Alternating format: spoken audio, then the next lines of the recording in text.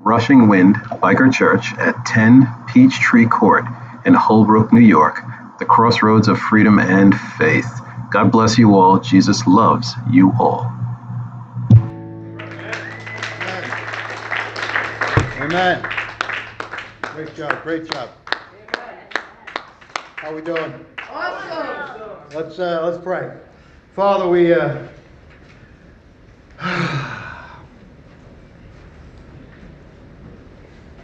life is just so good. Yes. Lord, just uh, sometimes, Lord, you just touch us, you surround us, and you feel it in the, the hair on your arms, you can feel it in goosebumps, and you just, you just feel something. And Lord, we just thank you as your Holy Spirit just surrounds us at times where we just get this sense that uh, we're surrounded by this awesomeness. And, uh, and Lord, just to understand it's the glory that you're sent down that we might experience life at a different level. Um, Lord, we just we just love your Son. He has uh, he has brought something into this this human realm that at, at times it's just hard for even us to grasp and articulate. Uh, Lord, as we uh, as we come to you today and ask you to teach us, Father, help us to focus on just how awesome your Son is. Lord, what you've given us, uh, the Spirit that He sent, that we might, might have a life that is incomprehensible in a world that is hopeless. Let us understand just how, how extraordinary that is, that we can be in this place and, and praise and, and actually have joy when everything outside those doors screams chaos and, and darkness and hopelessness.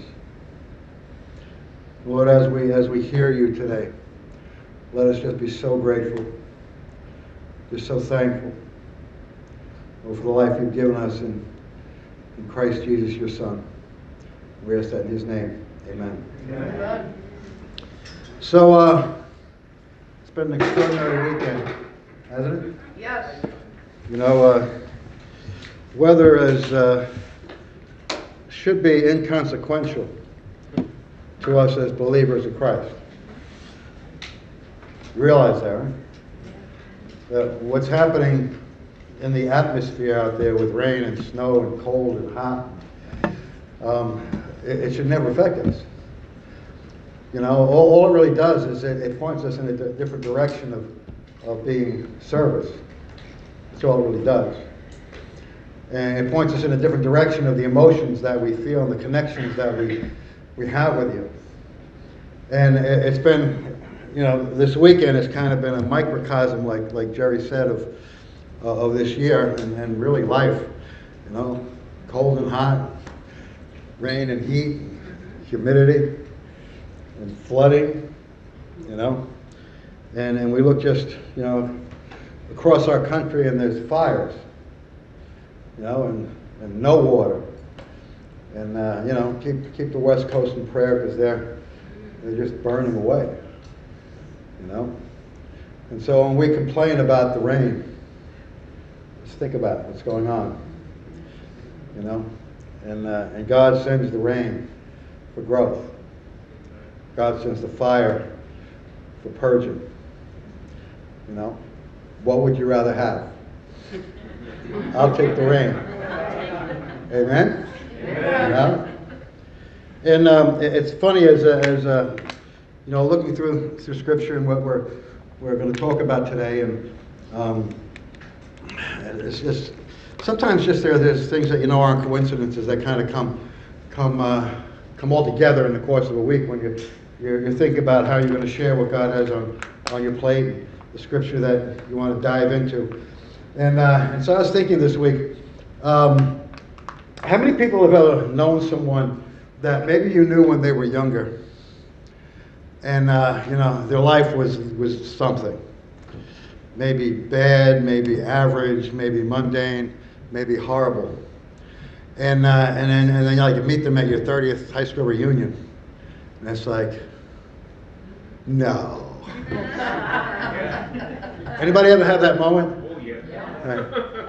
Anybody have the extraordinary opportunity to be that moment? Yeah. You know, when you're the one in that space, knowing what you were, you know, in school, or maybe after school, or maybe after you dropped out of school. Um, and then, you know, you're, you're the one, it's like people are looking at you and saying, no, that doesn't make sense. You know? You know, who, who, does, who does he think he is? No, that, no, that was him. You know, and, and I think, I think some of us have, have, have seen people and met people. And I was thinking about this gentleman that, uh, that I knew in high school. And, and when I was in high school, I was very straight-laced. You know, I, I didn't even know where to get drugs. As crazy as that sounds in the, in the, early 70s. You know, because I was into studying and I had my dream of going to college. And I had other issues that, uh, drugs probably wouldn't have helped anyway. And so um, I, I, remember distinctly there was two kids in school. And, uh, and everybody knew that they were the druggies. You know? And, and just the way they looked and people knew. And, you know, not, not pushers or, or dealers, but those are just the drugged out kids in school, you know. And so you graduate, you move on in your life, and, and, uh, and then you go to church one day, and uh, they introduce this pastor of a church upstate. It's like, that name sounds awfully familiar. and he looks like that guy, you know. And uh, you know, I think my, my wife may remember when we we were in the church, and a church where that pastor I talk about, he was the pastor, and they had a retreat center upstate, and they had another church upstate, and then this guy is speaking, and it's like, no, no not him. No, anybody but him. You know? And, and I was so far from God at that point, I wasn't even thinking, you know, well, if God's using that, you know, I wasn't there yet, you know? And, uh, and it's interesting, you know, when I, I, I, got to talk to him, and, and as I'm, I'm actually putting this message together, I friended him on Facebook. You know, I just I haven't, I haven't talked to him in years. You know, I know he, he was a pastor, and then, you know, there's some challenges, and I know he stepped down from being a pastor, and I didn't know what was going on, and now he's running for Congress. The drug guy. You know? And it's like, you know, who does this guy think he is? You know? And, uh, and I'm actually, I'm going to be going up there later this week, and we're going to be sitting down, and I'm going to try to help him with his campaign, because obviously he's a con- con- conservative, right-wing Christian. You know, and he's running for uh, the Albany Congressional District to be their representative in, in Washington. The drugged out guy I knew from, from school. And it was shocking.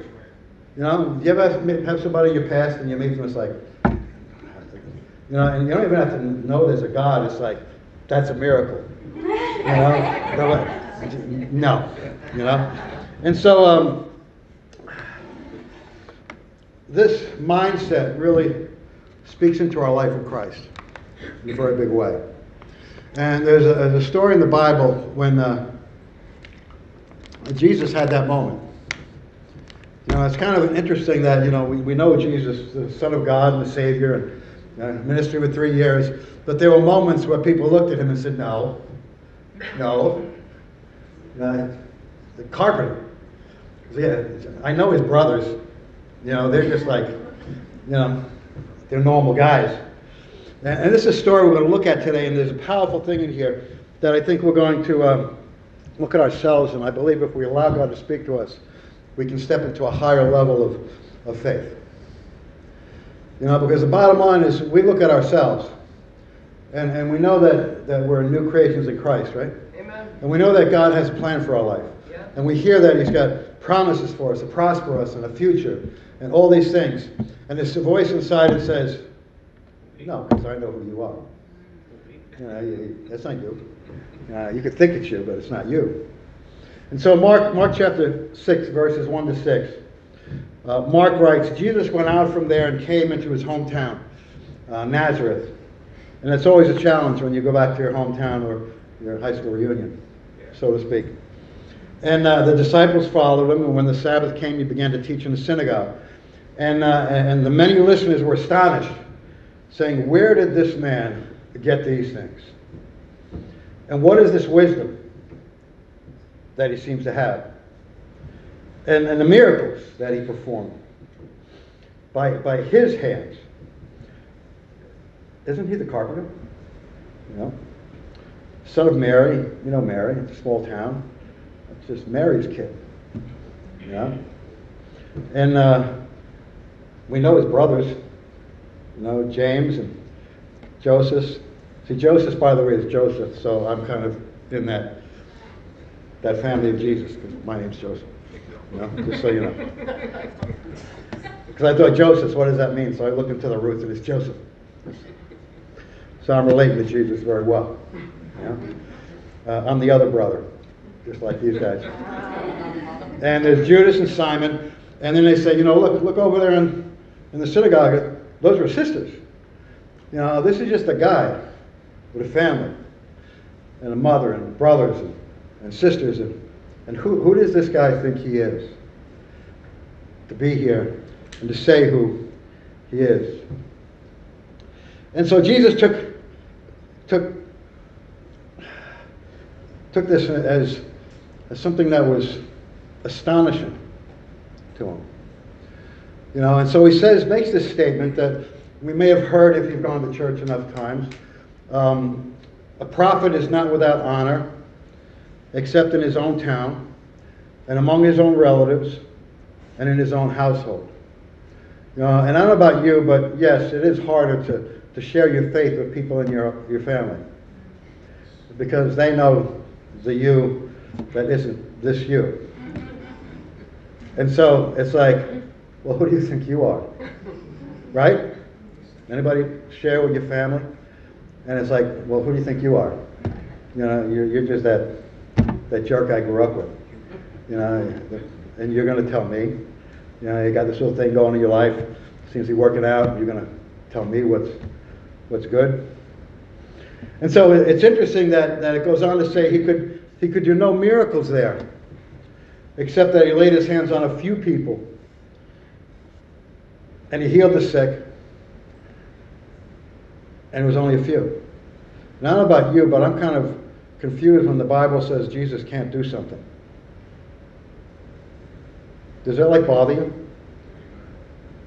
It should bother you. Because if we can do all things through Christ who strengthens me, how much more can Christ do all things? Because he's the one with the strength. But it says he couldn't couldn't do much miracles. He couldn't do very many things. And he wondered at their unbelief. And then he was going around to the villages and teaching. And so he goes back to his hometown, and, uh, and, and this is where he grew up. He spent most of his life. And, um, and it's interesting that they knew everything about him. You know, they'd heard about this guy, Jesus. Sounds like the guy that, that's from here. And they, they heard about the miracles, and he's teaching in the synagogue, and, uh, and he's teaching with power. And, uh, but there was a problem because they knew him growing up. They knew who he was. And not that Jesus was a bad kid. I find it hard to believe Jesus was a bad kid. I hope you agree with me on that. But he was still a kid, and he was in school, and one of the guys, and grew up with everybody. And so it's like, you know, he came up as a regular human being, and now he's proclaiming to be this. And we know him too well. Who does Jesus actually think he is? The reason why this is so challenging to him is because of what he said in the synagogue. See, Mark, because of his Reader's Digest way of doing things, doesn't say everything. So if, if you go to Luke, who is just the opposite. See, if, if Luke had a choice between saying something in few words and saying something for a long time, uh, Luke was kind of Pentecostal in nature. He would say as, as much as he can, as long as he can, with as many words, and, and give you all the details. And so Luke, in his account of the story, it says he came to Nazareth where he had been brought up, as was his custom. He entered the synagogue on the Sabbath, stood up to read, and the book of the prophet Isaiah was handed to him. And he opened the book and he found the place where it was written, The Spirit of the Lord is upon me, because he anointed me to preach the gospel to the poor. And he has sent me to proclaim release to the captives, recovery of sight to the blind, and to set free those who are oppressed. And then he closed the book, gave it back to the attendant, and he sat down. It was quiet, and all eyes were on Jesus. And then he said to them, Today, this scripture has been fulfilled. Now you have an idea why they were kind of upset. Because this carpenter who grew up in town, everybody knew him and his family and his mom, is saying the scriptures prophetically were talking about me. So you can kind of understand why they kind of took offense to that. You know, and they come up with all kinds of excuses. Uh, where, where does someone like him get such profound thoughts?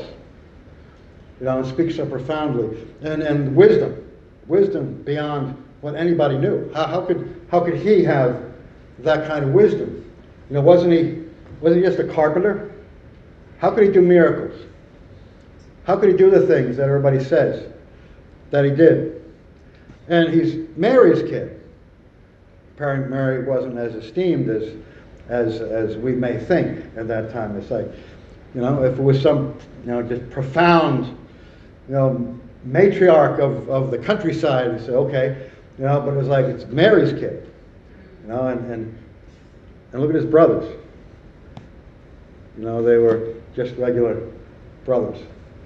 And so they had, uh, an interesting reaction because when you read this, it's like question after question after question after question.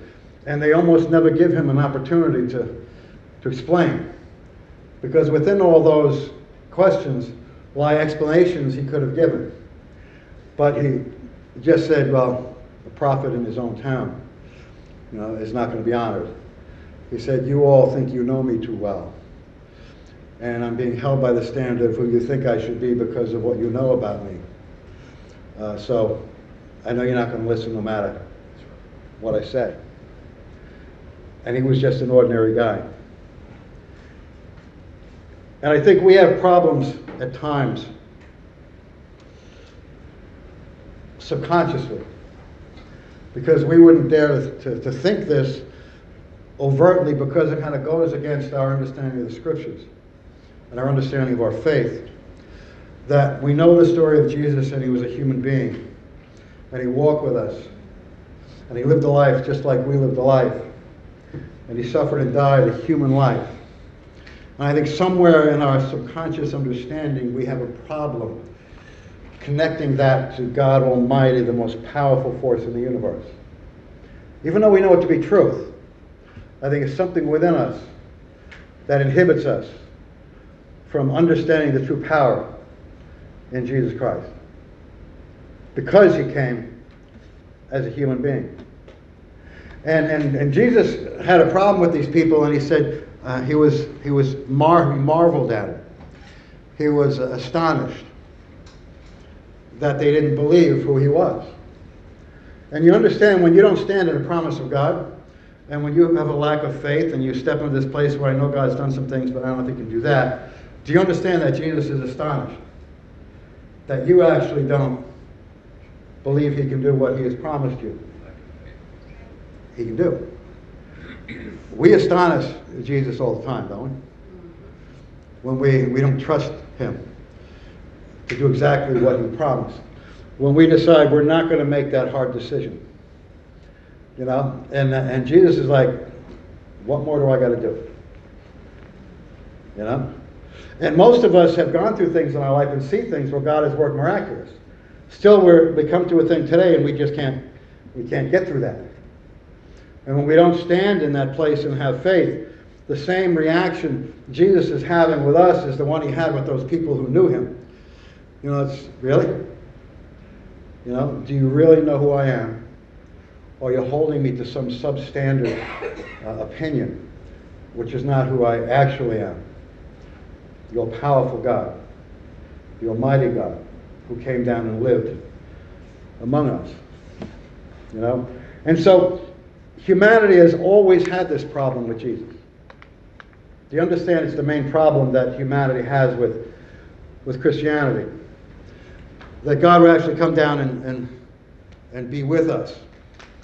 You know, because man is, is, is good when God stays where he belongs. Right? Know, God, God belongs up there, up there. You know, big God, awesome God. You know, because if he's up there, we can understand he runs everything. But when he comes down here, it confuses us. And as much as we, we stand in our faith and we understand our faith, the fact that we don't stand in faith 100% of the time and believe his promises 100% of the time means we don't actually believe fully, we don't have the faith completely that the God of the universe is encapsulated in Jesus Christ and the Holy Spirit, which he dwells us with. We're not totally convinced. And the problem is that it's in us. See, that's the problem. Because we know us. Right? And we know God's got promises, and we know that everything says that we should be able to walk in victory and walk as overcomers. But there's voices that say, well, don't forget who you are. You know? Because you are supposed to forget who you are. Right? You know? Because now you're a new creation. Amen? You know that? So who you are is a new creation. But the voices say, well, you know, you're, you're just carpenter. I was a carpenter. I'm just a carpenter. Yeah? And, uh, and you know, I know my family. I know the problems in the family. I know the problems I've created and been part of. I know my, my, my, my shortcomings. And so I know that Jesus is, is in me, and the Holy Spirit has all confidence in himself. Um, but I just can't do that because I, I, I, I know. It's the same thing they accuse Jesus of. You know, because it's the same dynamic. Because Jesus is in you. You believe that. The same spirit that raised Jesus from the dead is within you. Okay? Now you have a dynamic of that scene where you have all these people that were part of the hometown, and then you have Jesus, who's the Son of God. And you have the same dynamic actually within each one of you. Because that old man is the one that knows you. Where you were born, who your family is, where you grew up, and it keeps reminding you that, that no, you can't do that. Because who do you think you are? And today I want us to understand that you better understand who you are. And you're a son of the, the Almighty God and a daughter of the Almighty God. You have the same power, you have the same influence, you have the same capabilities that Jesus Christ had when he walked the earth. And so when, when you get that thing inside you that says, Who do you think you are? Or you get a voice from outside that says, Who do you think you are? you start thinking like Jesus. I know who I am. And I know who I believe in. And I know He is able. And I know there's nothing that I can't do through Christ who strengthens me. But we don't listen to those, those we don't listen to that voice. We listen to the, the other voices. You know? And, and it goes back, and like I said, there's different, different ways people approach God. You know, and, and people become like their God. Have you ever heard that? People become like their God. You know, if you have someone that is into a spirituality, there's a strangeness about them.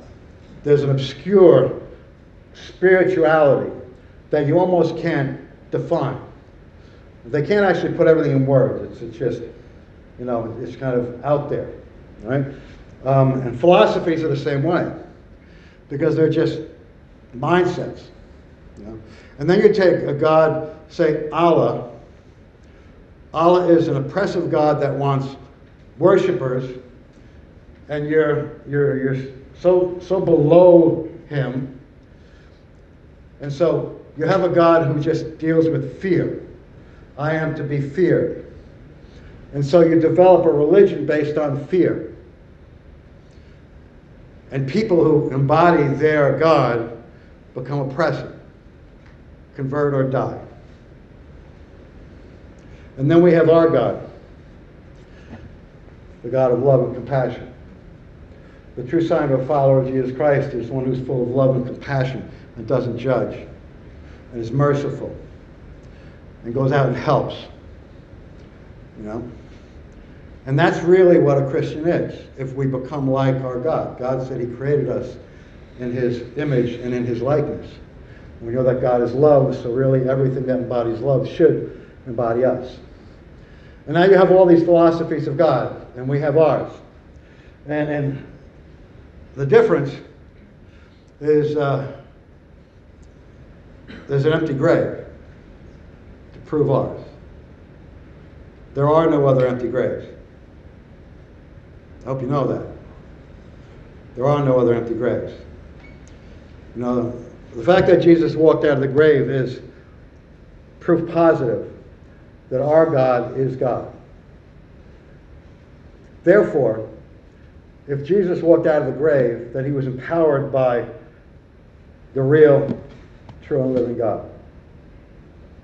And even though he walked as one of us, among us, it's the biggest act of the miraculous that has ever been done. So the biggest miracle God did wasn't parting the Red Sea. The biggest miracle God did wasn't fire from heaven. It wasn't a pillar of cloud by day and a pillar of fire by night.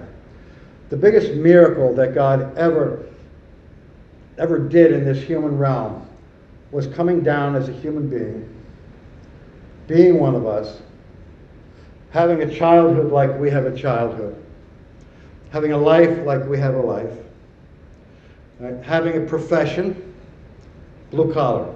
Doesn't make you proud to be a blue collar worker? Jesus is a blue collar guy, you know? And, and he, had, he had family like we had family, he had brothers and sisters. And he had challenges, he had issues, and he overcame them, but he had the same ones we had. And he bled the same blood that we bleed. And he died the same death that we will die. But then he rose from the dead. And it changed everything. Because the day he rose from the dead is the day that he said, This is what I'm offering you. you know, death has been redefined. And so we need to understand when we believe or not believe in what Jesus is telling us our life is, is for, what our vision is. We have to start understanding that this is the God who is the power of the universe. Yes, he was a man. Thank God he was a man. But we have to stop listening to the voices. Amen? I think part of the problem, even us as Christians, have, that we might love Jesus, we might love him with all our heart, but we still have this thing. And you might not even understand that you have it. But a big portion of why we can't stand sometimes is because Jesus was a man. Because if we were as convinced of our God, with tangible evidence that he was a God up there that was ruling and huge and up there, I don't think we'd have a problem in listening to him. You know what I'm saying? I think the problem is the thing that was the very miracle and the very act of grace that brought Jesus here to sit as you're to be able to turn in a seat in a synagogue and see the Son of God sitting there. The very act of grace that empowers everything we know to be true, in a strange sense, is also one of the major obstacles that we have to trusting that the man who was God, who was man, that was God, that was a man, gives us the power to do everything in this world. See, we prove that fact every time we don't stand in faith. You know, we love Jesus, we know Jesus, we've surrendered our life to Jesus. But how many people are living a perfect life out there? How many people are making all the right decisions? You know? And I believe this is, this is part of the challenge within our mentality as human beings. You know, there's something inside us that has a hard time comprehending that, that God would be one of us. We know it, we can intellectualize it, we can even have faith in it. But the fact is sometimes we don't stand in it. You know, how many people here have surrendered their life to Jesus Christ? Pretty much everybody in the room, right? How many people know that means that the Holy Spirit is indwelling in you? How many people understand that that's the same Spirit that brought Jesus Christ out of the grave? It's the same Spirit that allowed him to lay hands on people and heal them. You know? To speak and demons came out. Okay? And so what we have within us is the same conversation that happened in that synagogue. You know? Because we have Jesus in us, Christ in us, the hope of glory. Amen. And we have this dead old man, which we tend to believe, which is all the people in the synagogue who are saying, I know who you really are. You know? And then we have the Holy Spirit in us, which was Jesus there saying, Yes, but this is who I really am. And it doesn't matter what you think. And, and when you think about grieving the Holy Spirit, now there's a lot of things that, that kind of fall into the category of grieving the Holy Spirit. But part of the grieving of the Holy Spirit, exactly what happened in this synagogue. When Jesus said he was astonished that they didn't believe who he was, having seen miracles, it's the same reaction the Holy Spirit has in us when He has said, This is what God wants you to do, and I'm empowering you to do it. And we say, I don't think I can do that. And so part of grieving the Holy Spirit is the same thing. It's like, Really? Do you know who I am? You know? And that's the Spirit already in you. And so we have this, this, this, this struggle. And we have to understand that the old man is definitely dead. Amen. See, Jesus knew he didn't even have an old man. You know? And so we have to get in the mindset like Jesus had. The old man is, is, is non existent. And then when Jesus says something, we believe it. But when the Holy Spirit says, step in this and do that, do we believe it? Instead of listening to the voices that, you know, say, well, I'm not capable of that because, um, you know, look at the life I live. I know I have Jesus in me, the hope of glory, but you know, I, I, can do these things, but I don't know if I can do those things. You ever struggle with that? You know, let's be honest. I mean, you know, it's like, you know, we've seen things and, and God has used us, but then there's a big thing, it's like, you know, I don't know about that. That's for somebody else, you know, because they're more worthy than I am. You know, and we have this struggle. Um, I mean, look at where I came from in life. You know, you have to think, you know, Nazareth, and, and they're from Nazareth. You know, it's like it's like I'm in Mastic Beach, not not one of the higher uh, kind of uh, status towns in Long Island. Okay, so I'm in I'm in, I'm in Mastic Beach, and Messiah comes out of Mastic Beach, and it's like that's great. I don't know about Mastic Beach. You know, Sands Point. You know? Town, yeah. Hamptons maybe, you know, someplace where, you know, powerful, important people come from. And so they were even struggling with that. It, it, should be such a blessing because we looked at this as human beings that our Savior was a human being and he walked like us. Don't you think it should have been empowerment to these people? Like, Messiah is going to be known from the town we grew up in. You know, wouldn't that be great? No, apparently it didn't work because they, as a community, had a mentality, you, know, you, you can't come from here, you know, because Nazareth. You know, this is like ghetto. And, the Messiah can't come from ghetto. I'd be cool, but you know, I know ghetto. Messiah can't come from ghetto. It's the same, the same mentality that we have when we look at ourselves sometimes. We forget that we've surrendered our lives. We've surrendered the brokenness and the old man. We've surrendered that. That's all dead and gone. I'm convinced that, that many of you in this room have not been able to step into the life that God has had for you because you are stuck in this place where I know who I was and I know God has a victorious life for me. And you're accepting a minimal, a minimal victory in your life, thinking that's all God would have for you. And you've been so deceived by the enemy. Because look who Jesus used. And they, they just totally changed the world. There's not one person in this room that is beneath where the guys that walked with Jesus were. Yeah? Because they just weren't, you know, they weren't the cream of the crop. You know, which is the beauty of the gospel. You know, it's uh, it's interesting how lack of faith actually inhibits the movement and the power of Jesus Christ. You know, I mentioned that earlier. You know, when I read the scriptures and I read that Jesus couldn't do miracles, doesn't it make you think? Why couldn't Jesus do miracles? It's because they didn't believe who he was. Now think about when we don't walk in victory. What is it saying about us? Yeah?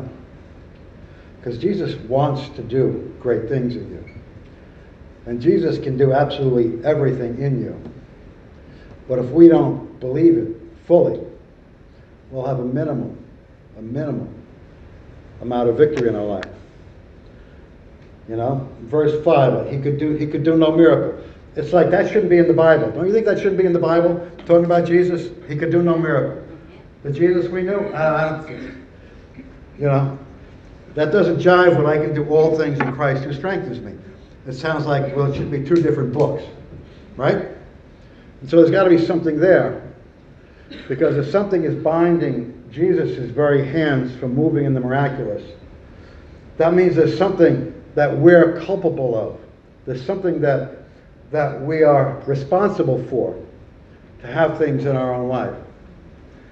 You know, and one of the things we, we saw the last couple of weeks, uh, last week in particular, it's not, not on the screen, but if you remember last week about uh, Jairus' daughter, and we saw that, you know, when, when Jesus said, I'm going to go, go heal this, this, this girl, and then she dies, people didn't believe. And what did Jesus do? Go home. I don't need you. Because their lack of faith would complicate the situation. And then he came to Jairus' house and said, Why are you so upset? She's only sleeping. And he, they mocked him. What are you crazy? We know she died. We were here. Where were you? Ooh. You don't put Jesus in the corner like that. And so Jesus said, Get out of here. We don't need you. You know?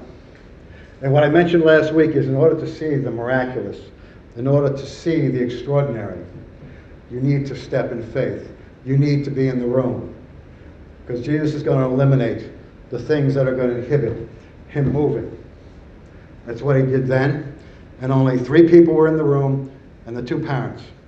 And all the people that followed him and saw other stuff, the minute there was unbelief, he said, We don't need you. Because you're just going to make it harder for the people who are holding on to their faith to continue holding on to their faith. See, and um, I'm scrambling my message today just so, so you know, because the Holy Spirit's taking this in different roads than, uh, than I anticipated.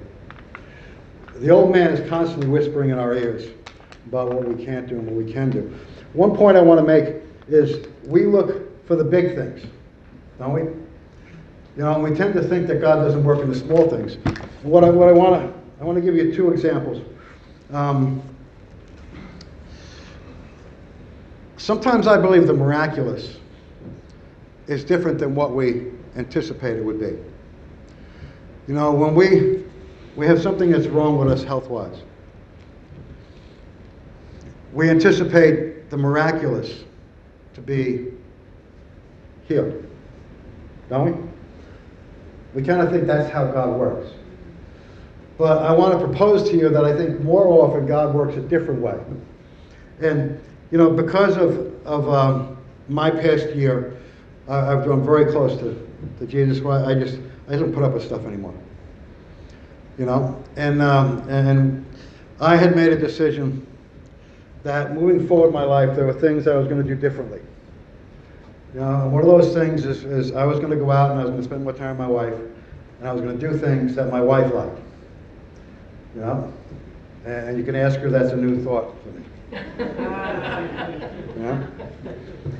And so, uh, but I'm going to do that because you look at life differently, you know, when certain things are put on your plate. So, so I went to my brothers, and you know, we kind of want what are we going to do in Winchester, Virginia? And it's granted you can't can't ride. So my sister-in-law, it's a museum. Rose gardens. Yeah. So in my mind, I'm like, is there anything more exciting than that? You know, is there stuff that I, I, I want to do? Um, and, you know, and, and, and now I'm to the point where I keep that in my mind.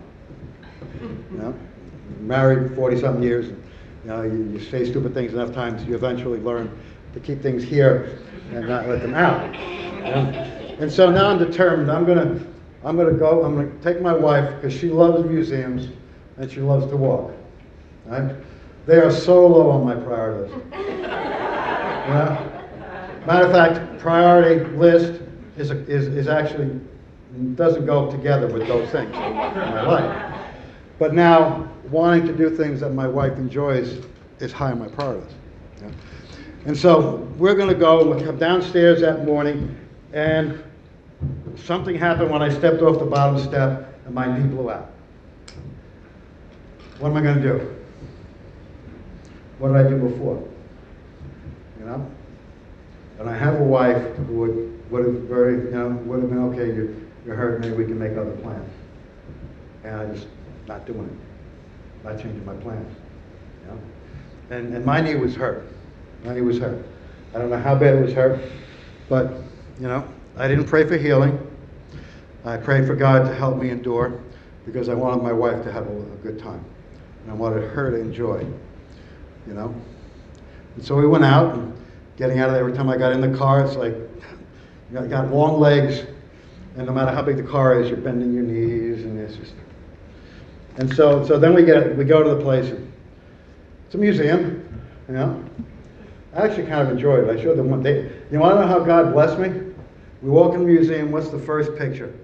It's a picture of this Civil War, Civil War guy on like this motorcycle thing. I can dig that. I know Jerry liked the picture. You know? And it was funny because, you know, you walk in and it's got, I don't know if it was General whatever. It was Custer? Was it Custer? And no, it couldn't have been Custer because this was a Winchester, it was a Shenandoah Valley Museum. It had to be a general from the, the Civil War. So he's on this, he's on this, this, this scoop, man. So that's cool. And then to make it make it interesting, uh, the guy who created this thing, it was like made out of garbage. You ever see art made out of garbage? I love art made out of garbage. Like hidden behind this little thing is a little triangle patch that says one percent on it. I don't know if Jerry saw that in the picture. Blow the picture up. And I said, whoa, that's, that's, that's authentic. This is authentic biker stuff now. And so it kind of made it a little more interesting. But I, I walked, and I, it, it hurt. But the more I walked, the less it hurt. The more I walked, the less it hurt. And I actually find myself reading these, it seemed like two million plaques on everything in the museum. You know, I don't even do that when I go to Cooperstown the Baseball Hall of Fame. I'm not reading the plaques. I'm just looking at pictures. You know, and so, so it was miraculous how God got me through that. Then we walk out into the gardens area. Lots of gardens, lots of stuff. Lego things. If you saw my Facebook thing, there's Lego stuff. Right? You ever seen like the worst place to walk when you got bad knees? It was all pieces of slate that were like this, and like this, and like this. And if I catch my toe on one, I'm seeing stars and I'm probably going down. And it was the whole thing. And then we got out of that. And then there's bricks that are the same way. Brick. You know, thank God you're funny. You know? and and I did it. And my knees bothered me less, and they bothered me less, and they bothered me less. Because I think sometimes we don't understand when we walk in the Spirit, doesn't mean we're healed. It means what happens in my flesh does not matter any longer. You know? And plus, I was motivated by love. See, the miraculous happens when you're motivated by love. And so, you know, what does this have to do with this? My flesh, why don't you go sit down? You're going to hurt your knee, you're going to make it worse. You know, and, and a lot of times, little things in our life that we start to see how God is there and the Holy Spirit is in you. You know, because everything in my flesh was like, I don't even want to do this when I'm healthy. You know?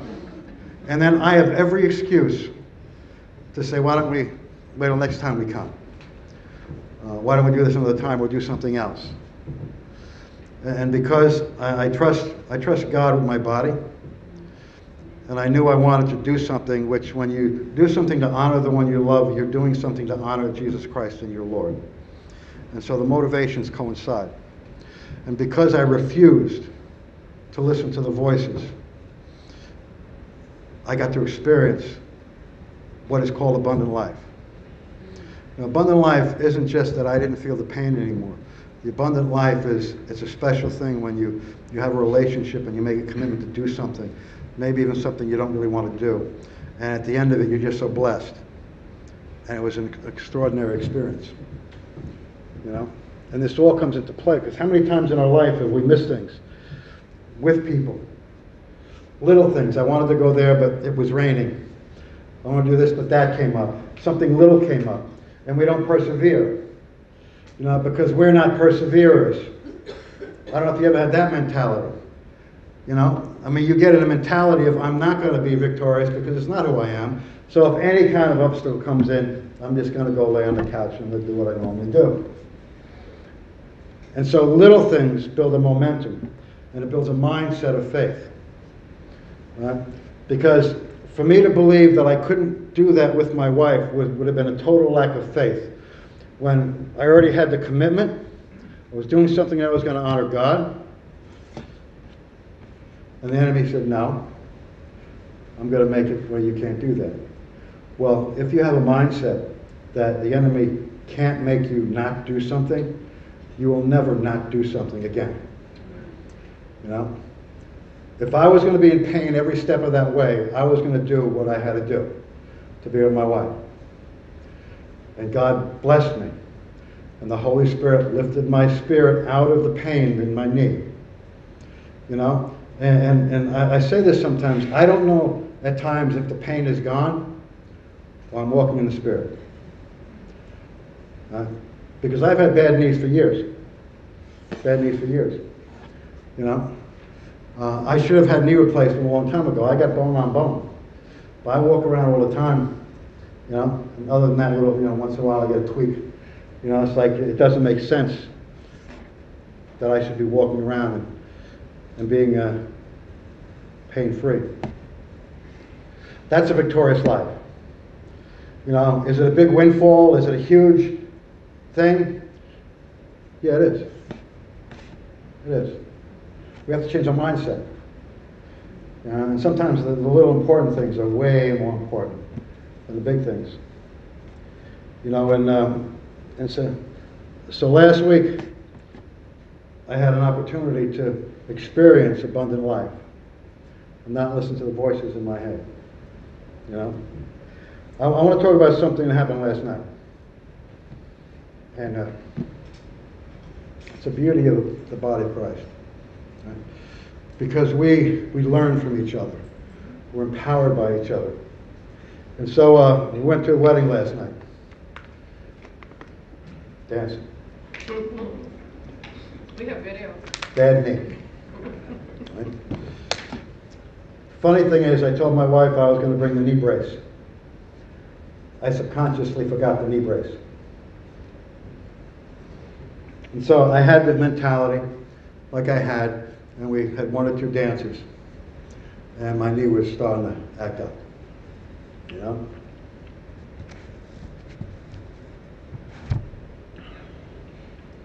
Sometimes people surround you. God surrounds you with people for a reason. That's the power of you. Know? And so we're there, and I'm sitting My knees kind of throb a little bit. But I'm watching somebody with knees 10 times worse than mine.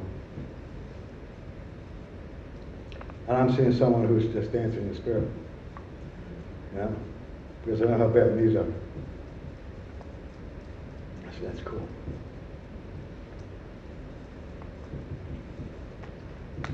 One of the biggest blessings of night. But then my wife gets up to dance, and uh, somebody came up and grabbed my hand and said, "You got to get up and dance." Thank you. No, because we're here to encourage each other, you know. And watching her dance, like there was never ever a problem with her knees, it just blessed me the whole night. But when she came over and grabbed my hand and said, "You got to go dance with your wife," it changed, changed my mindset because the old man started to come back a little bit, and I could have very easily sat there and waited for some more, some more slow dances, but I didn't. And I don't know how much of that video is going to get out, but you know. I saw it was a good video. But, but we got to understand who we are in Christ, right? Who we are in Christ is someone that has bad knees that can get up and dance, and they're not going to let the knees steal life from them and steal the joy. The joy on that woman's face as she was dancing was was miraculous. You know, and I know I'm probably embarrassing her right now. You know, but I asked your husband if I could embarrass you. It's a, it's a good embarrassment.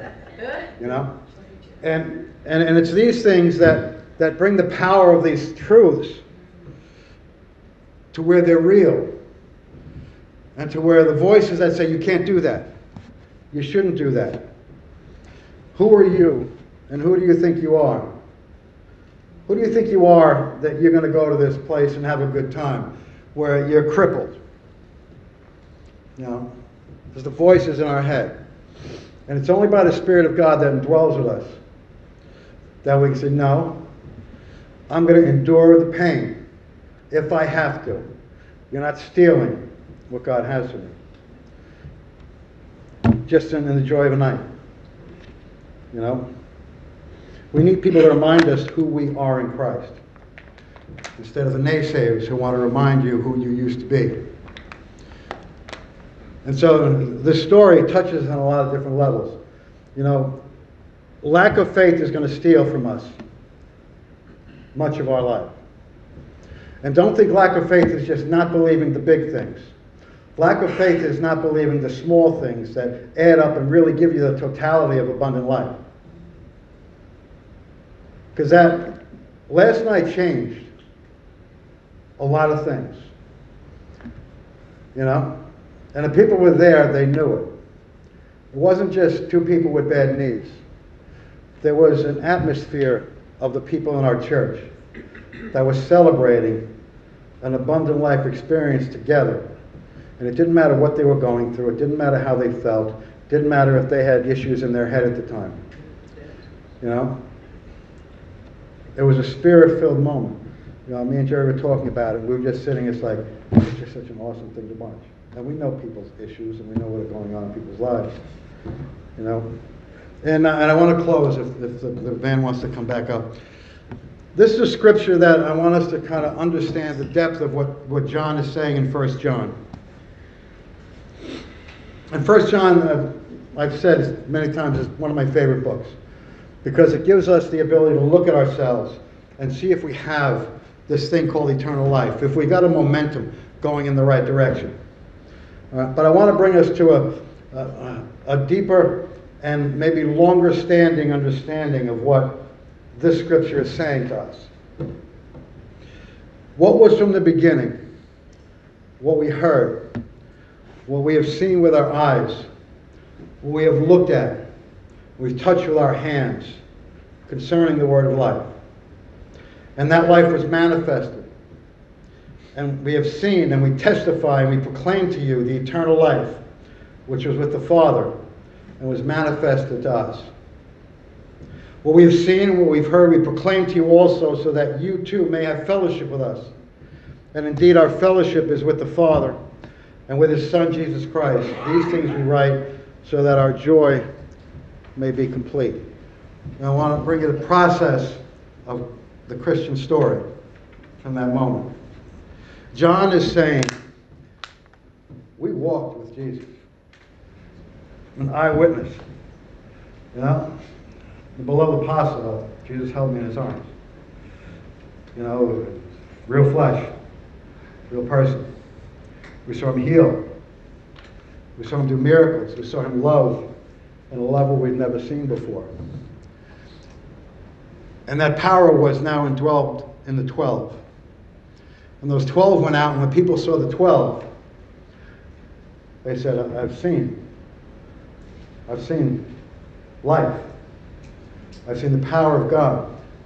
I've seen resurrection life in John and Peter and Stephen getting stoned. And I've seen the tangible evidence, and I know that it's real. And then those 12, they expanded the church to thousands and thousands. And thousands of people who said, I saw, I saw John and I saw, I saw the fathers of our faith. And then those people walked in power. And they knew who they were in Christ. And then other people saw the thousands. And they said, We've seen and we've touched. You know, many of you in here and myself have, have seen and been with Christians who have moved in the miraculous and people who have been healed and people whose lives have been changed. And we know because we've looked in, in, their eyes and we've sat with them and we hold them in our arms and we've heard them speak. And the same thing should be going through our heads as I've seen. Because in that person is Jesus Christ, the Son of God. Christ in him, the hope of glory. And when we go out there, people should meet you. And they should see you and they should hear you. And like these stories of dancing, and dancing in the miraculous. And people should be seeing you as they see us once in a while and saying, I've, I've seen. You know, I've seen the reality of, of the power of God. I've seen the miraculous. We've touched it in our hands. I've, I've sat and I, I shook hands and I had coffee with someone who, who, who overcame a disease and, and, and they're fine. You know? Or I see someone who's, who's battling a disease. You know, you ever visit someone in the hospital and it just seems like they're ministering to you? Isn't that the weirdest thing? You know, and, and maybe they're not healed. But they're healed. Because true healing is in our spirit. True healing is when our spirit will not give in to what the body has. Oh, at times God will decide He wants to do the miraculous in our flesh. But I wonder at times which is more miraculous you know, which would be a bigger miracle to me if my knee was miraculously healed and I didn't feel anymore? Or if I could continue to go through my life knowing my knee was hurt and totally not aware that there's any pain. And it doesn't stop me from doing what God wants me to do. Which is a bigger miracle? I'm starting to wonder which is a bigger miracle. You know, because that almost to me is a more lasting miracle.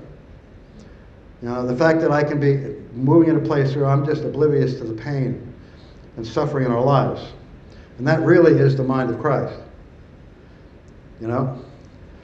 To participate in the sufferings of Christ doesn't mean to be eliminated of the sufferings of Christ. You know? For the joy set before him, he endured the cross. He still went to the cross, didn't he? But he went there with joy. And, and I believe even though there was excruciating pain when he was in the spirit, I don't believe that pain, that pain was inconsequential to what his mission was. It's like when Stephen was stoned in the streets and he's looking up and he's seeing Jesus on the throne and he's praying for forgiveness for the people. I don't believe he felt any stone that hit him. It killed him. I don't believe he felt any one of them. Because he was in the Spirit and he was loving on the people that were throwing the stones and he was seeing his Savior. And so to me, maybe things like that show Jesus even in more power. And people need to look at us, and they need to say, we've seen it with our own eyes.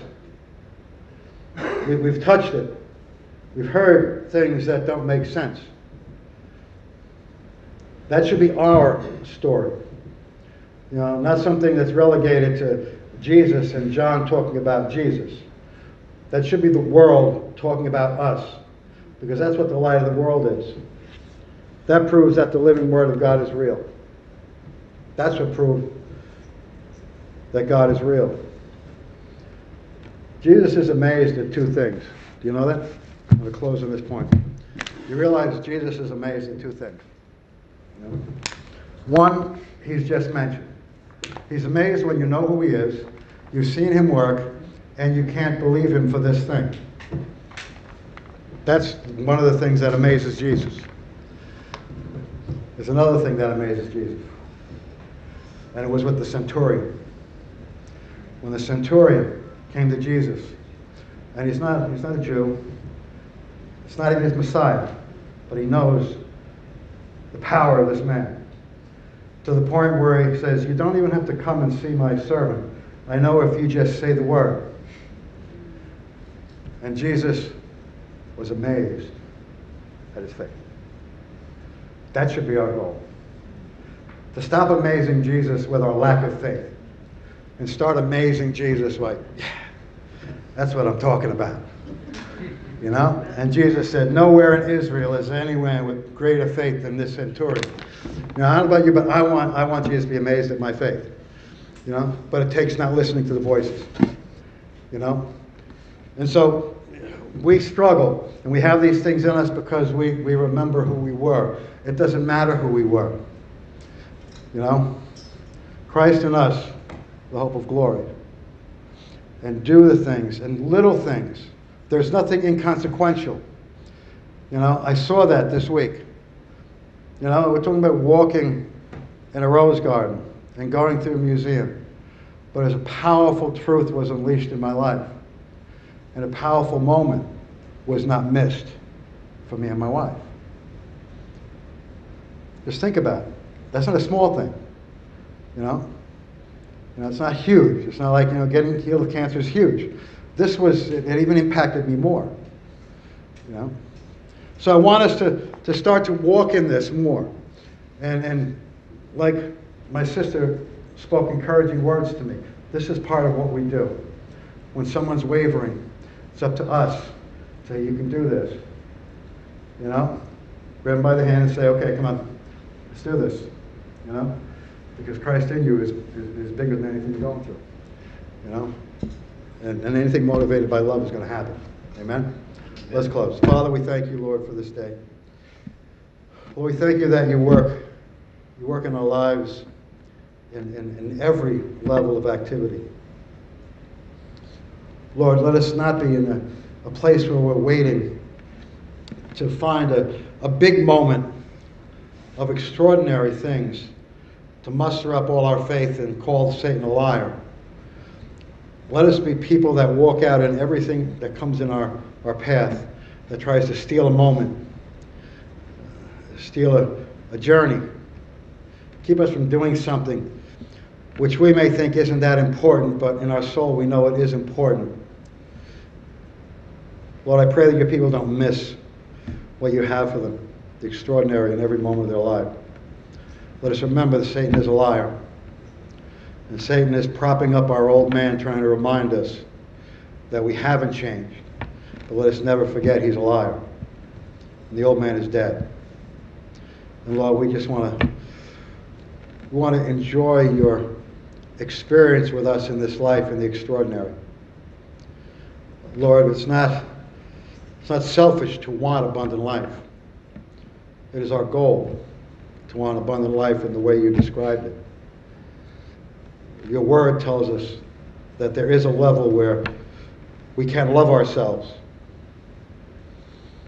Let us understand that that love is a love that is going to shine into the world because we love others as ourselves and we walk in the miraculous. And Lord, we thank you for this day. We thank you for this place, this family, and we thank you for dancing at weddings.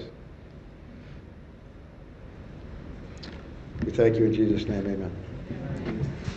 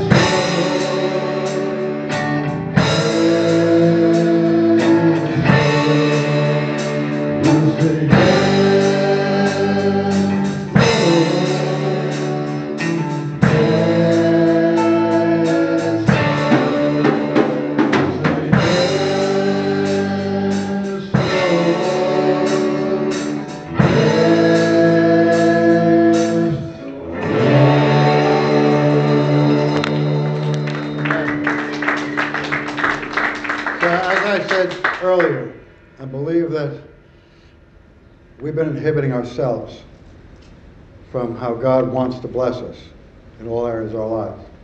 We're our own worst enemy. Amen? Can we be honest here? You know, and there's so many things Jesus wants to do in every one of your lives. And he hasn't done it because his hands have been tied. Because you haven't fully engaged in the faith and you're believing that you know, you're something that you no longer are. So let's go out and just change, change our lives. Because if we allow God to change our lives and walk in the miraculous, even in the little things, we won't have to worry about the world changing. We can stand in faith for the things with us. You know? And people are going to say, I've seen it. I felt it. I've heard it. The testimony, the power. And then they're going to see Jesus in you, and, and then the Holy Spirit does the miraculous. Amen. Father, as we leave this place, we just ask you to continue to empower us, Lord, to not listen to the voices in our own heads, Lord. Lord, whether they're, they're subliminal and we don't even know it's there. Uh, Lord, let us be overbearing in our confidence of who we are in Christ. We'll drown out even voices we don't think we hear, that we know we can do because we know who we are. And when everything in us and everything on the outside says, Who do you think you